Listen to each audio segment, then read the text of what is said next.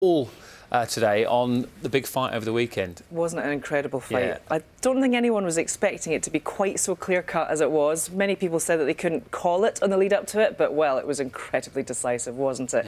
The Gypsy King, Tyson Fury, regained his WBC heavyweight boxing crown in the early hours of Sunday morning after convincingly defeating Deontay Wilder in the seventh round of their rematch in Las Vegas. Thousands of fans travelled to watch their hero live, with many more watching at home. And one of those watching was former world champion boxer Amir. Um, Good morning.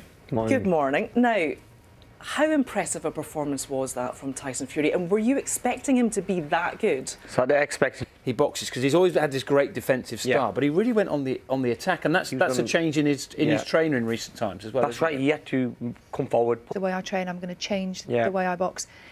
Watching it three years ago, not many people would have believed him. Not- Heavyweights. There's one name that keeps coming up again and again. Everybody wants to see Tyson Fury fight Yeah. Anthony Joshua. We know that Tyson Fury has in the past expressed some views that many people find difficult to mm. swallow. You know, he said some controversial things that Yeah. made him unpopular.